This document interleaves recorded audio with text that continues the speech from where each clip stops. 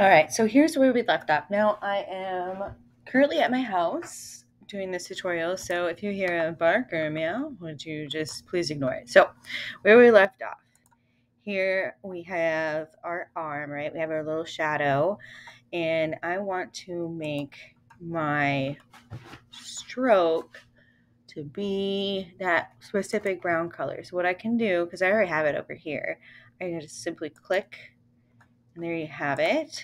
Now I'm going to take all of these things, click and hold, right? So now I have all of them highlighted and I'm going to group them together, which means that it's treated like a whole object. Here, I'm going to ungroup it because I want to make that bottom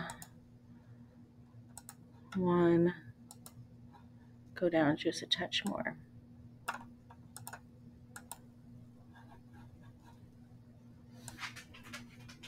Like that. All right. Now again, highlight everything and then group. So what do I need to do next? Well, I need two arms, right?